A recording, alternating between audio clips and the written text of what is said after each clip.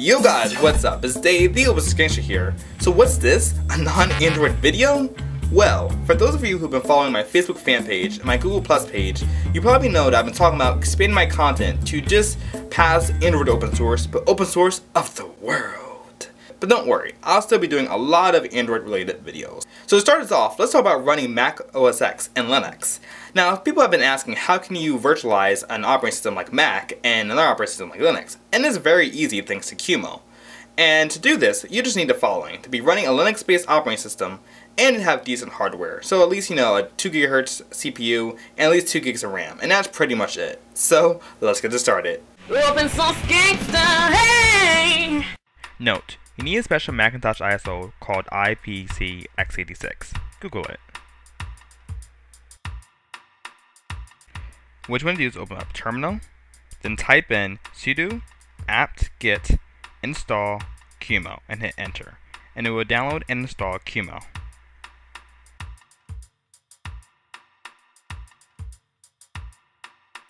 What you want to do is type in QEMU image create followed by the image name, and a size followed by a G for gigs.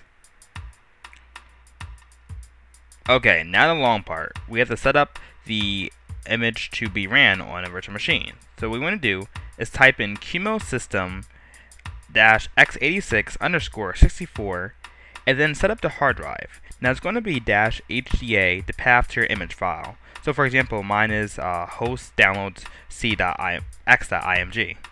Then we what we do is type in uh, space dash VGA standard std, then space uh, dash m, and set the memory or the RAM amount that you want to run. I'm allocating 2 gigs, but if you want to allocate more or less, it's up to you. Then you want to add space sound hardware AC97, then set up the CD-ROM, which is the path to your IPC ISO. So mine is host downloads IPC uh, x86 10.5.6 ISO, but yours may be something different. So essentially all you're doing is just copying and pasting what I have below and just filling in your specific location. And then type in boot D and hit enter and QEMU should boot up with Mac OS X. It's going to ask you to hit any key to start up, so make sure you hit any key and it's going to load. Okay, first thing you want to do is select your country and your language Hit next.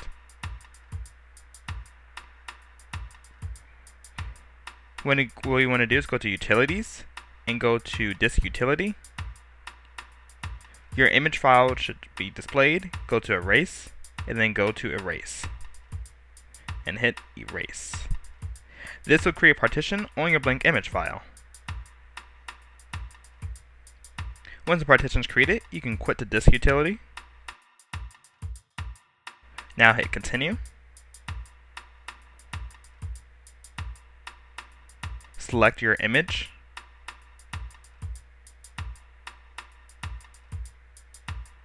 Now hit customize. Now it's very important that you go and you select the 9.50 Voodoo kernel as part of the installation file. So go to kernels, 9.5 Voodoo kernel. Then we want to do is select the legacy app Intel chipset driver.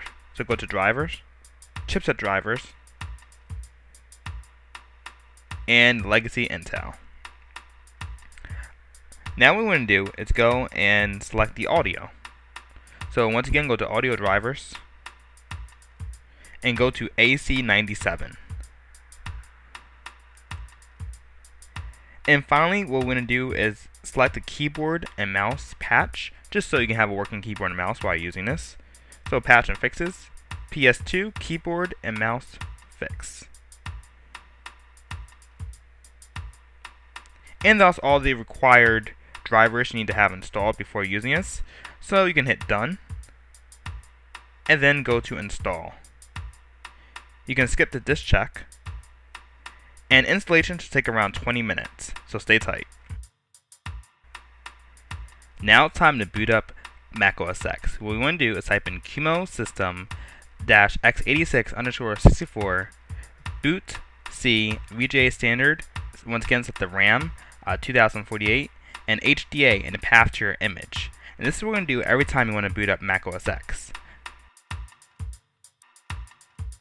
and hit enter. And OS X should boot, should go into the bootloader, and once again ask you to press any key and it should start.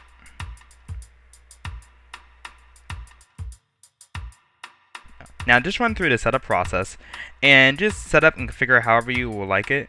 And you can skip all the registration and just go right into OS X.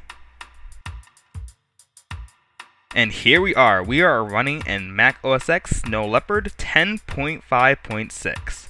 So everything works just how it should. Uh, smoothness is pretty smooth, but once again, that'll be depending on your computer.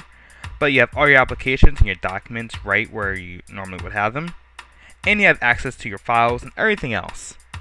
So of course, if you're a big Apple fan, or if you're a person who just wants to try out something before even going into a Hackintosh, this is a great place to start. And you have all your files and everything else. So thanks guys for watching. This has been how to run Mac OS X in QEMU on Linux. And once again, I highly suggest you check this out and have fun with it and try it for yourself. So thanks for watching and tune in for another galvanizing video. Thanks.